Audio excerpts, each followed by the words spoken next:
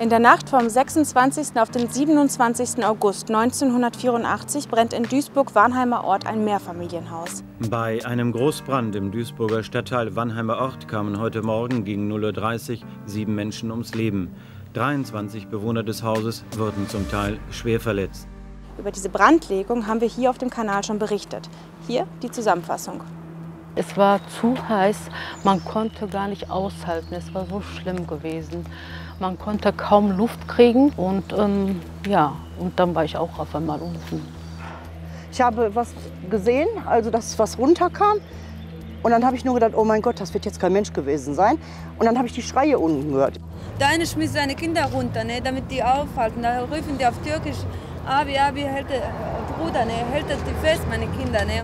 Glauben Sie, dass äh, eventuell Ausländerfeindlichkeit da eine Rolle gespielt hat? Oh, das wissen wir nicht. So, wir sind ja. hier lange, äh, also praktisch 16 Jahre. Wir haben noch nie was davon gemerkt, dass uns man irgendwie angeguckt hat, so doof oder was. Ne? Also haben wir gar nichts davon gemerkt. Sie meinen aber doch, dass sowas vielleicht eine Rolle gespielt haben könnte. Warum denn? Ja, weil äh, wo die raus waren, die alle, ne? da haben die welche ein paar Deutschen haben die gesagt, ist doch egal. Sagte, das sind nur sowieso Ausländer alle. Mir ist auch sehr äh, aufgefallen, dass äh, an unserem Haus äh, ein Hakenkreuz war. Das war direkt äh, bei uns an der Hauseingang. Mhm. Ausländerfeindlichkeit als Motiv schließt die Kripo inzwischen aus. Die Polizei kommt nicht weiter. Sie hat immer noch keine Ahnung, wer das Feuer in dem Mehrfamilienhaus gelegt haben könnte. Dann, 1993, brennt in Duisburg wieder ein Haus und wieder sind es Familien mit Migrationsgeschichte, die darin leben. Heute, fast 40 Jahre später, beschäftigt sich das Landeskriminalamt NRW mit dem Brand aus dem Jahr 1984 und stellt sich die Frage, ob das Tatmotiv womöglich rassistisch gewesen sein könnte.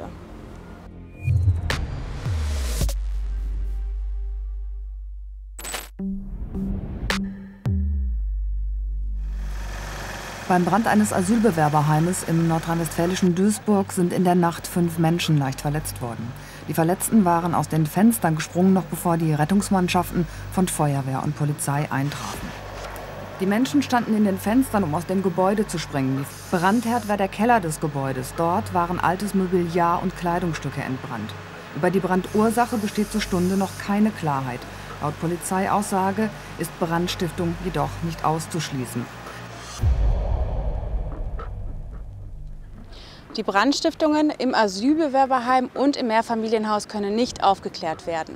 Im Mai 1994 meldet sich dann eine Frau bei der Polizei. Sie heißt Evelyn D. und gesteht, beide Brände gelegt zu haben. Als die Polizei die Frau überprüft, gibt es eine Überraschung. Evelyn D. ist keine Unbekannte und sie liefert auch noch ein Motiv. Doch jetzt erstmal zur Vorgeschichte. Ich habe sie kennengelernt. Äh ist Jahre her. Ich habe es mir nochmal nachgelesen, wann der erste Fall war. 9. September 1984. Und soweit ich mich erinnere, ging es um einen Vorhang in einem Krankenhaus, das er angezündet hat. Nach dem Brand in der Warnheimer Straße zündet Evelyn D. immer wieder Müllcontainer und Sperrmüll an. Vor Gericht wird sie für diese Delikte von ihrem Rechtsanwalt Heinz Schmidt verteidigt. Dass sie für die Brandlegungen in der Warnheimer Straße und im Asylbewerberheim verantwortlich ist, erfährt ihr Anwalt 1994 aus der Zeitung. Sie befürchtete, dass ich ihr das äh, ausreden würde, das Geständnis. Also so hatte sie mich verstanden. Ich äh, würde immer rechtsstaatlich argumentieren und zum Rechtsstaat gehört, dass nicht ich als Betroffener aufklären muss oder sollte, also nicht diese moralische Kategorie, die ist natürlich auch, die auch gerechtfertigt ist, aber das ist nicht mein Job. Mein Job ist zu gucken, ist, kann ihr die Tat nachgewiesen werden mit den rechtsstaatlichen Mitteln, die der Staat eben hat. Hatte Evelyn D. ein politisches, also in diesem Fall ein rassistisches Motiv, als sie die Brände 1984 und 1993 legte? Dieser Annahme stellt sich Heinz Schmidt vehement entgegen. Warum hat Evelyn D. Ihnen nichts von den Brandlegungen in der Warnheimer Straße und auf das Asylantenwohnheim erzählt? Ich denke, dass sie äh, so erschüttert war über das, was sie da veranstaltet hat, dass sie das nicht geschafft hat. Nicht aus Furcht, sondern dass sie das nicht wahrhaben wollte. Mhm. Denn, Und das ist natürlich auch das Entscheidende und das ist ja der Punkt, äh, warum wir überhaupt zusammensitzen, ist ein rechtsradikaler Hintergrund zu vermuten. Äh, der ist eben überhaupt nicht zu vermuten. Und der Anlass für diese Brandstiftung, Sie haben das Urteil gelesen, war ja auch ein völlig idiotischer und hatte nichts mit Politik oder sonst was zu tun. 1983, also ein Jahr vor der ersten Brandstiftung, beendet Evelyn D. ihre langjährige Beziehung und verliert dadurch auch den gemeinsamen Freundeskreis. Sie fühlt sich allein und in ihrer Isolation greift sie immer mehr zum Alkohol. Etwa ein Jahr später kann sie den intensiven Alkoholkonsum überwinden, trinkt kaum noch und hat einen neuen Freundeskreis. Allerdings pflegte sie zu ihren neuen Bekannten nur eine recht oberflächliche Beziehung, da sie sich mit diesen Leuten nicht besonders wohl fühlte. Wissen Sie irgendetwas über diesen Freundeskreis? Nee. Nee, überhaupt nichts. War die Thema, als ich sie kennenlernte, hatte sie keinen Freund und äh, hat das auch mir gegenüber nicht problematisiert. Das ist ja jetzt heute dann, glaube ich, eine naheliegende Frage für vor allem die Hinterbliebenen. So, was waren das für Leute? Haben die vielleicht Evelyn D. dazu gedrängt, sowas zu machen oder so? Aber das war also, nicht der Fall. Das wär, würde ja wieder interpretiert, inter, interpretierbar machen lassen, dass diese Tat einen entsprechenden Hintergrund gehabt hatte. Wenn Sie das aber dann in die gleiche Reihe setzen, also quasi Unfall, Unglück, und in die gleiche Reihe setzen der weiteren 40 Taten, Brandstiftungen, also einschlägiger Art, dann kann man nicht sagen, also da ist jetzt der Freundeskreis äh, prägend gewesen, weil eben diese sieben Menschen oder eben Ausländer oder was auch immer zu Tode gekommen sind. Das Gericht will verstehen, warum Evelyn D. über Jahre mehrere Brände legt und schaut sich dafür ihre Vergangenheit an. Die Angeklagte leidet unter einer Essstörung. In einer Therapie wird dafür eine mangelnde Abnabelung vom Elternhaus verantwortlich gemacht. Daraufhin bezieht sie ihre erste eigene Wohnung, fühlt sich aber von ihren Eltern weiterhin kontrolliert. Als weiteres Motiv für ihre Inbrandsetzungstaten gab die Angeklagte in der Hauptverhandlung an, dass sie sich im Hinblick auf ihre allererste Brandstiftung vom 27.08.1984 schuldig fühlte.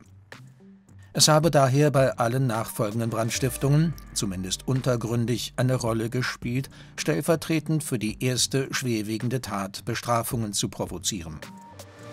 Das heißt, weil Evelyn D. nach der ersten Brandlegung mit sieben Toten Schuldgefühle hatte, legt sie immer weitere, in manchen Nächten sogar mehrere Brände hintereinander, um erwischt und bestraft zu werden. Und das wird sie auch manchmal. Sie wird gefasst und muss sogar ins Gefängnis. Warum sagt sie nichts? Warum gesteht sie nicht?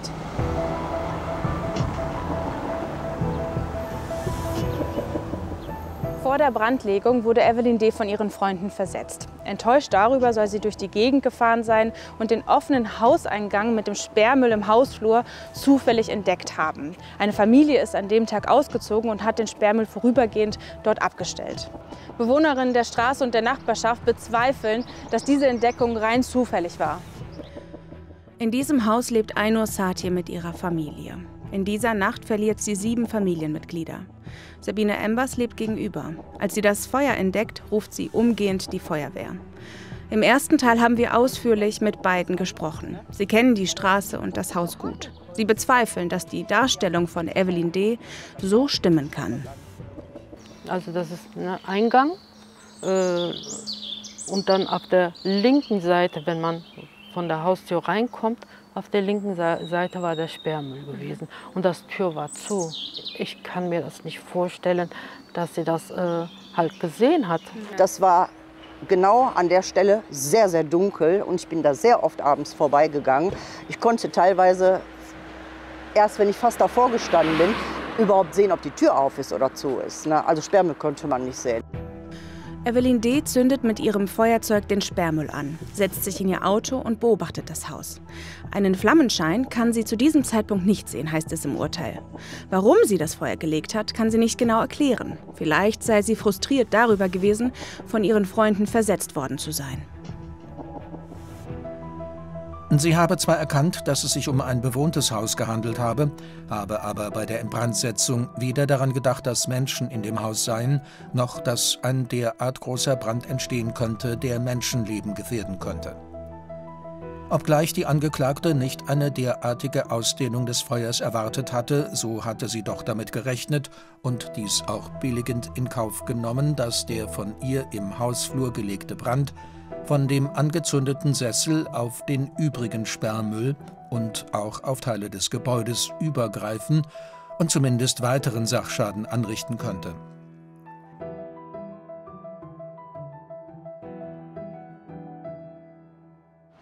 Evelyn D. fährt in Richtung Stadtmitte. Nach etwa zehn Minuten kommen ihr Feuerwehrautos entgegen und sie kehrt wieder um. Aus der Entfernung kann sie die Flammen erkennen. Sie bleibt stehen, sieht sich an, was sie angerichtet hat und fährt dann wieder nach Hause. Währenddessen passiert am Tatort das. Ja, und dann nach ein paar Minuten wurde das wirklich so viel, dass er schon bis auf die ähm, Wannheimer Straße raufgedrungen ist. Der und dann, Rauch. Der Rauch, ja. Und dann bin ich ähm, runtergegangen, habe zu meiner Mutter gesagt, ich werde jetzt die Feuerwehr rufen, das ist mir zu riskant da. Ne? Äh, auf der rechten Seite war die Mama drauf und auf der linken war ich mit der Uhr hier an der Fensterbank. Und äh, man konnte wirklich nichts, nichts äh, machen. Also es war zu heiß, man konnte gar nicht aushalten. Es war so schlimm gewesen. Man konnte kaum Luft kriegen. Ähm, ja, und dann Mama hat jedes Mal gesagt, bitte nicht runterspringen, bitte nicht runterspringen. Ainur und Rükir Satir überleben den Sprung schwer verletzt. Ihre Mutter überlebt den Sprung nicht. In dieser Nacht sterben insgesamt sieben Familienmitglieder. Ferdane Satır Songül Satır Ümit Satır Çiğdem Satır Zeliha Turhan Rasim Turhan Tarık Turhan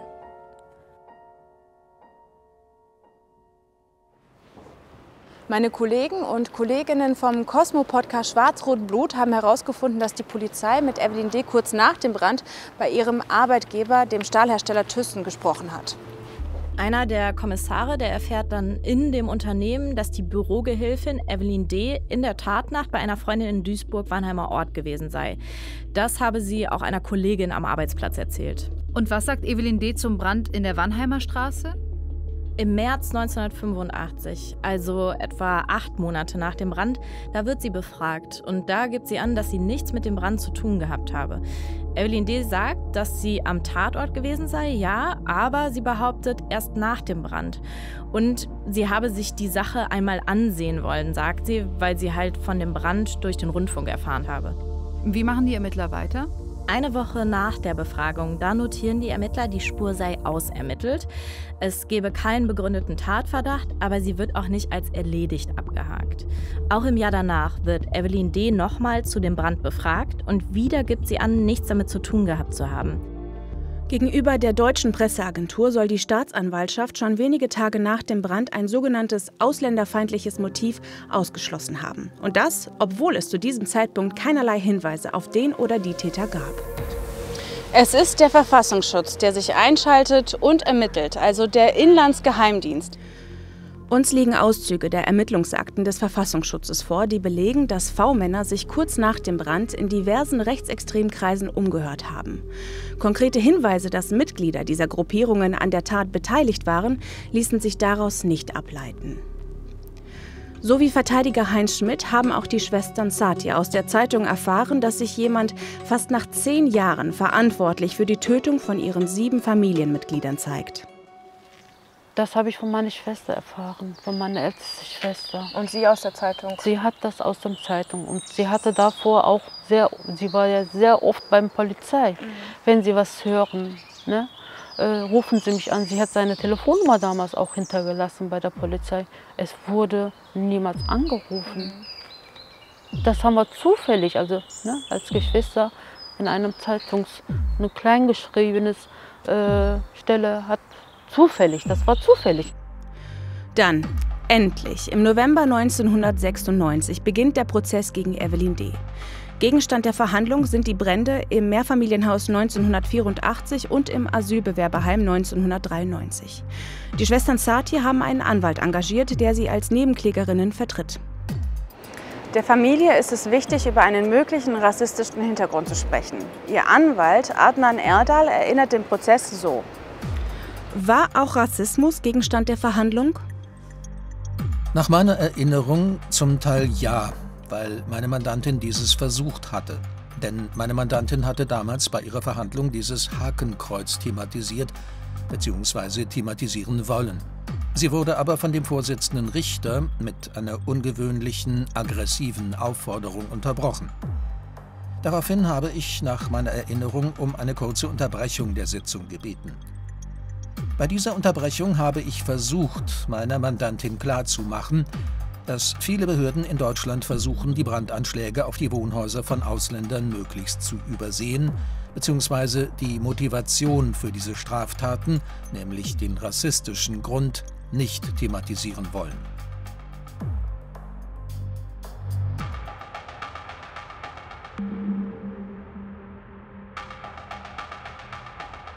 Können Sie sich daran erinnern, dass der Vorsitzende Richter so reagiert hat, wie er es beschrieben hat? Nein. Weil Nein. das erinnert Nein, nämlich das, die Also der war, auch. der war äh, absolut äh, offen und der, man hatte nicht den Eindruck, dass er jetzt etwa die Angeklagte da vor irgendwelchen Anfeindungen hätte schützen wollen. Meine Schwester wollte wirklich was sagen. Ne? Die hat ja auch, auch angefangen. Und ähm, ne, das kam so, dass der Richter dann gesagt hat, wenn sie so weitermachen, dann können wir sie rausschmeißen. Mhm. Wir, haben, wir saßen da. Wenn der Richter uns mal mich gefragt hätte, ob es mir was aufgefallen ist, vorher oder mhm. nachher, wann, was dann danach passiert ist, hätte ich dann alle, doch alles erzählt.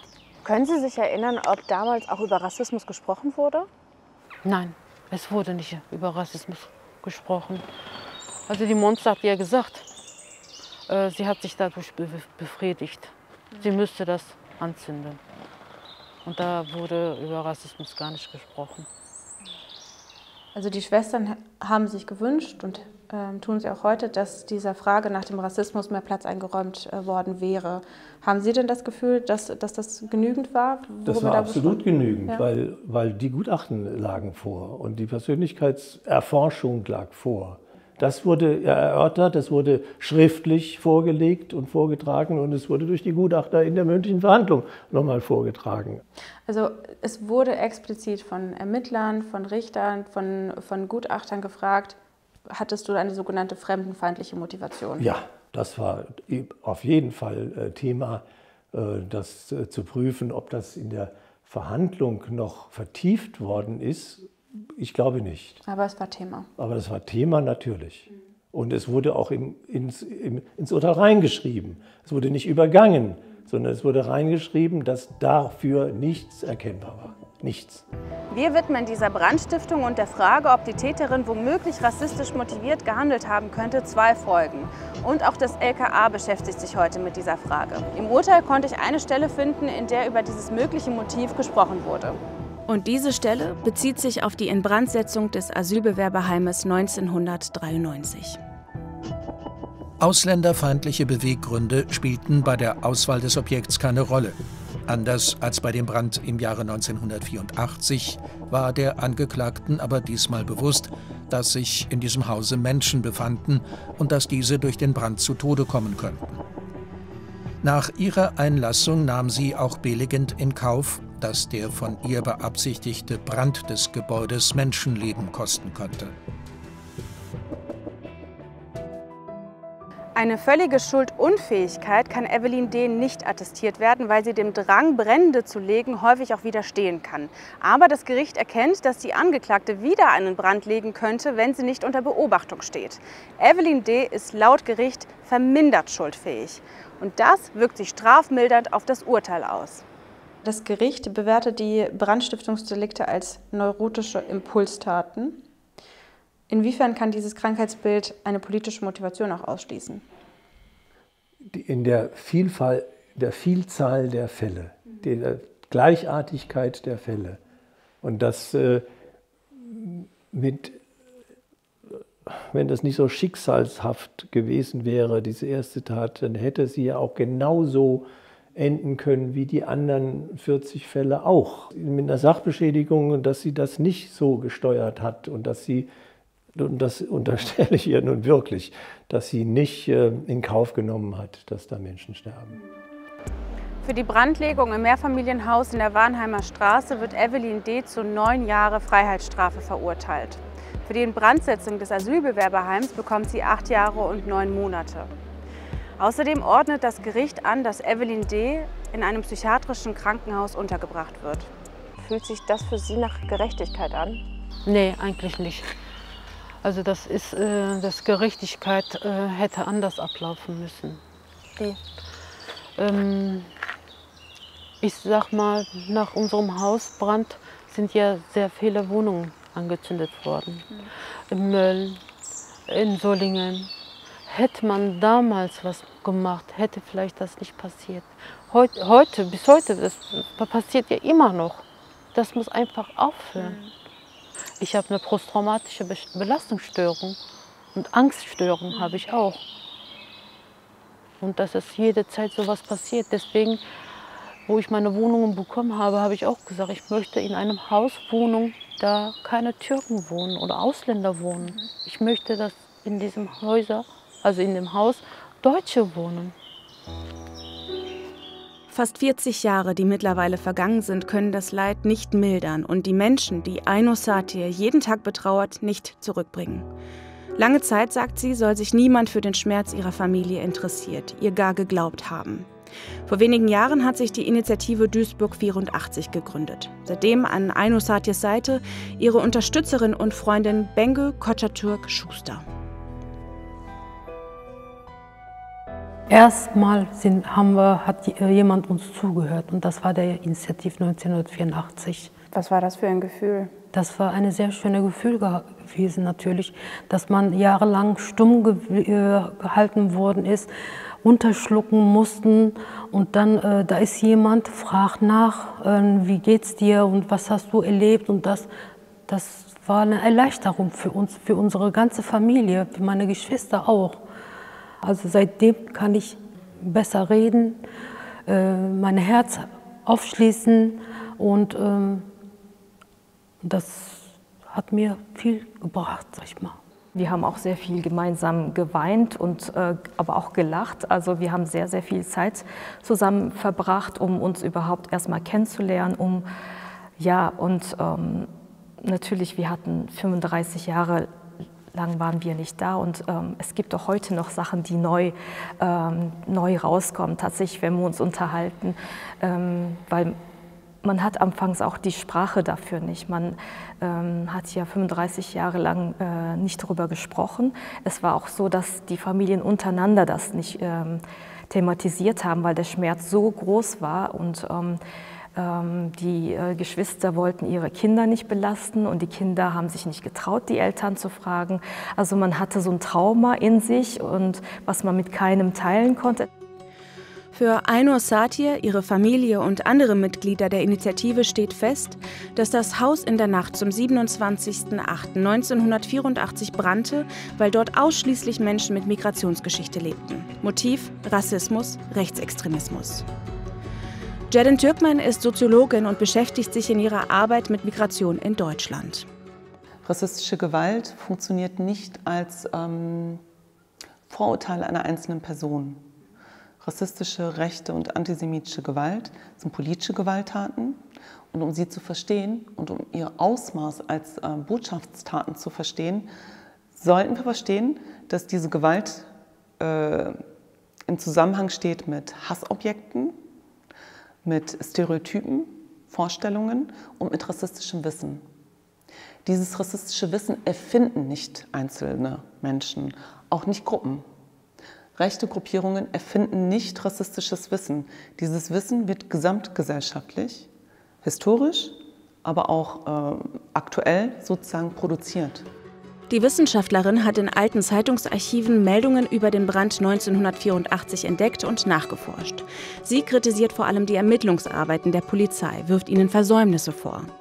Mit anderen Aktivisten und Aktivistinnen gründete sie daraufhin die Initiative Duisburg 1984. Kann es dann nicht sein, dass die Stimmung rassistisch war, aber dass die Täterin Evelyn D. tatsächlich einfach nur in Anführungsstrichen eine krankhafte Pyromanin war und dass sie sich dieses Haus zufällig ausgesucht hat. Umgekehrt, äh, die Beweis, Pflicht liegt nämlich bei den Ermittlungsbehörden. Äh, sie sind diejenigen Institutionen, die Menschenrechte schützen müssen als Pflichtenträger. Und dementsprechend möchten wir gerne erfahren, ob ausgeschlossen werden kann, dass Evelyn D. nicht rassistisch gehandelt hat, indem sie 1984 und 1993 Wohnobjekte, die eindeutig als äh, Wohnobjekte von Migrantinnen bewohnt waren, angegriffen hat. Ich würde mir wünschen, dass wenigstens äh, gesagt wird, dass es Versäumnisse gemacht wurden, dass in äh, jene äh, Richtung ermittelt werden müsste, weil eigentlich, wenn äh, in diesem Land Migrantinnen und Migranten Opfer von Gewalttaten werden, müsste Rassismus ganz oben auf der Liste stehen, also als äh, politisches Tatmotiv. Wir brauchen Gerechtigkeit. Das, das ist sehr traurig dass man uns einfach alleine gelassen hat. Jetzt werde ich reden, auch meine Schnauze aufmachen, frech werden. Wir brauchen Gerechtigkeit. Man soll nicht nach Hautfarbe gehen, man soll nicht nach äh, ha Haarfarbe gehen. Äh, das Rassismus muss aufhören. Da sollen keine äh, unschuldigen Menschen sterben. Meine Mutter war 39, wo sie gestorben ist. Diese Monster hat mein Leben geändert. Von einem Nacht auf den nächsten, nächsten Tag hatte ich ganz andere Leben gehabt. Und die soll krank sein. Und dieser kranke Mensch hat meine Familie krank gemacht. Wer ist denn verantwortlich dafür?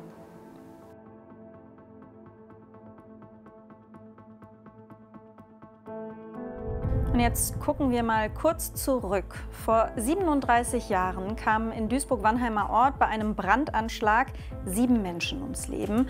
Jetzt soll sich eine neu eingerichtete LKA-Projektgruppe mit den Hintergründen der Tat beschäftigen.